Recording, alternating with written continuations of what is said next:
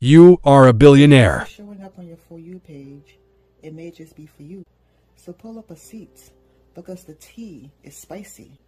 The juice is juicy. Okay, my nose is itching and I barely started. I heard the gloves are off.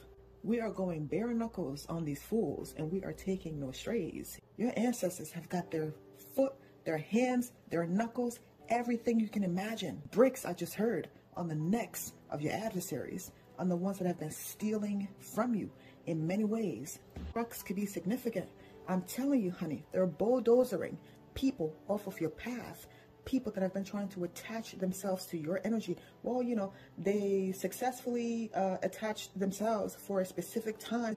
Not only have they been stealing from you monetarily, pilfering from you, they've also been stealing from you spiritually. They have been siphoning your life force energy. Eons of ages, they have been doing this. They have been pilfering, stealing, and stealing from divine beings. And then uh, uh, spoon feeding them and then giving them measly little amounts of what is actually theirs. Oh, here's a little penny here. Here's a little penny there. Here's a dollar here. Here's a dollar there. But you got to work for it, though. You got to work for it. You got to chase this wealth. Even though they have been stealing out of your wealth and, and measly feeding it to you, funneling it to you, when you're when in actuality you're a billionaire, baby. You're a trillionaire, huh? You are wealthy in spirit and wealthy on the physical plane. When I tell you that your ancestors are not playing with these entities, are not playing with these motherfuckers I just heard. the ancestors said, tell these motherfuckers.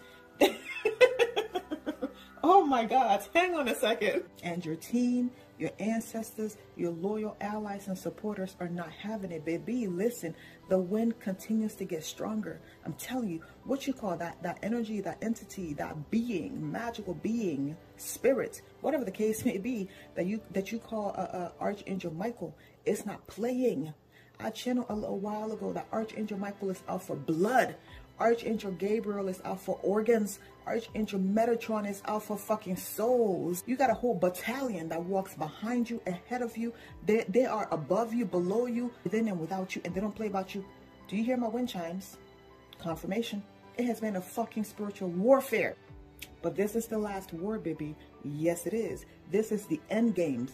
And these motherfuckers are fighting for, for survival. Confirmation. Choices are very significant because there are ramifications for every single action when it comes to the growth and the evolution of consciousness, when it comes to the growth and the evolution of all sentient beings, of all of life forms. People need to be careful what they choose when it comes to, to, to laws. And I'm not talking uh physical laws, honey. I'm talking spiritual laws, okay? There's the law of interference or the law of transference, however you want to see it. You're not meant to transfer anybody's energy onto you. You're not meant to interfere with other people's paths. And this is what these entities have been doing for eons of ages. And I'm telling you, your bloodlines, they've got their fucking foot, their knees, their elbows. Listen, we're playing on words. You feel what I'm saying? But they're not letting these, they're not letting these entities breathe. Archangel Michael is not letting these entities breathe. Archangel Michael deals with the lungs. Some people may actually be having breathing issues, okay? These divine energies that have been given names, Archangel Michael, Archangel Gabriel, Metatron, Sandalphon, Raphael, whatever the case may be. Information from the bird outside. Listen, baby. What I say at the beginning of this channeling, pull up a seat, okay? Because the tea is spicy.